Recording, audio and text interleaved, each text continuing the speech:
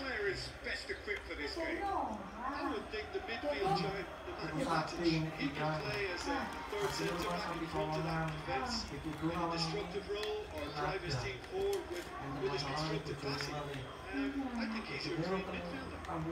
He's getting the best out of him will count for so much. Matitian ang ating.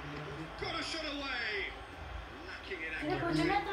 Na to? Peter, I would say it was worth a try. Pati lumali kon. Kung ako sa mga kanina. Rekor pa rin nga ba? Ano pa ang ikon? Pati lumahat ang tumali ko. Sa sige. pa. Look on the right flank. Now, what's next? O. Well, they need to be better now. It's a wasted chance. Pani. Cruz. Pincang kinilo. Dapat mo Surely a shot. Bell. Oh, record ko. Now it's Isco.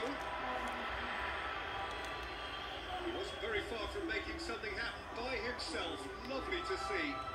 Well, you could see he was eager to get a shot away, but there was too much flesh and bone in his path. Moran positions himself well and cuts it out. Just brushed off the ball there. Kicks one in. Buccaneering run from the defender. Towering header. Goal! Manchester United!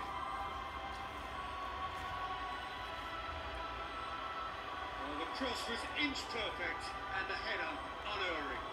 Well, look, it's, it's often the timing of the jump that dictates.